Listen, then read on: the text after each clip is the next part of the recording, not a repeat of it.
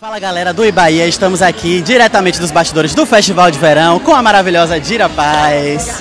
Tá aqui curtindo o festival, ó Dira? Tô muito feliz de estar aqui, gente. Eu não pude vir na estreia de Alpaió 2 e aí tô vindo no Festival de Verão, tô tão encantada porque eu amo essa cidade como todos os brasileiros. Mas assim, eu tenho uma relação de Opaió 1, Opaió 2, então isso faz, ó, eu ser abraçada muito e eu agradeço muito o carinho da galera daqui comigo. Obrigada, gente. Eu estou muito feliz de estar aqui. E a gente está na época de estreia de Renascer, né? Que é uma novela mais rural, assim como foi Pantanal, né? Então o pessoal está falando bastante sobre o seu personagem, né? Tá com saudade? Olha, eu tô já em outro projeto. Opa!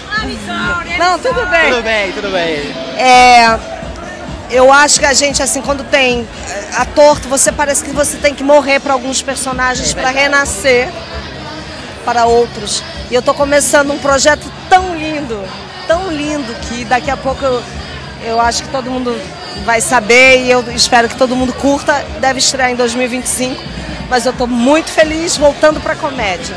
Ah, incrível, né? Para encerrar, eu vou pedir para você mandar um beijo pro pessoal do Ibaía que te acompanha, né?